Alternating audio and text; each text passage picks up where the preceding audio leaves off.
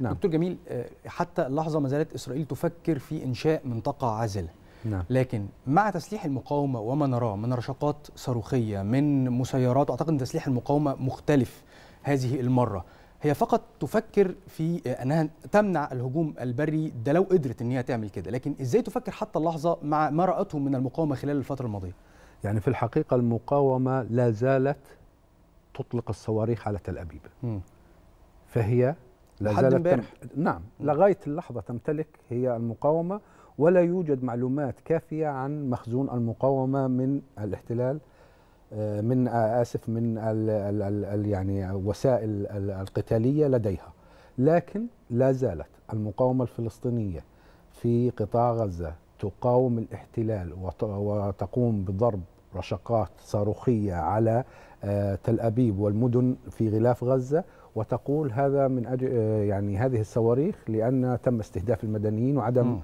آه، تجنب قتل المدنيين والمقاومة لديها خطط ووسائل دفاعية أبهرت الجميع حتى إسرائيل نفسها حتى الموساد الإسرائيلي حتى جنرالات إسرائيل تكلموا في هذا الحديث أن آه، المقاومة الفلسطينية وحركة حماس تحديدا لا زالت تسيطر على المشهد في قطاع غزة.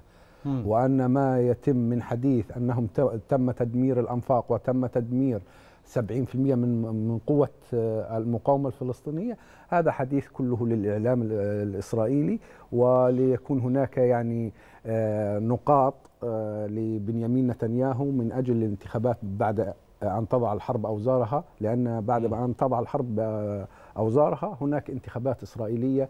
بعد ثلاث شهور فورا خلال 90 يوم لازم. يكون هناك انتخابات إسرائيلية ونتنياهو يعني بدأت أسهمه آه، في النزول أمام الرأي العام الإسرائيلي لأنه آه، آه، آه، نتنياهو أصبح يعني إنسان غير آه، مؤتمن على شعب إسرائيل لأنه لم يحميهم باعتقادهم. وأنه يعني أصبح فاسد وأنه كان يوجد لديه معلومات أمنية ووثائق إنه آه، هذا الهجوم لحركة حماس في السابع من أكتوبر وأن هناك تواطؤ ويدعون أن نتنياهو متواطئ في هذا به- به- بهذا الأمر.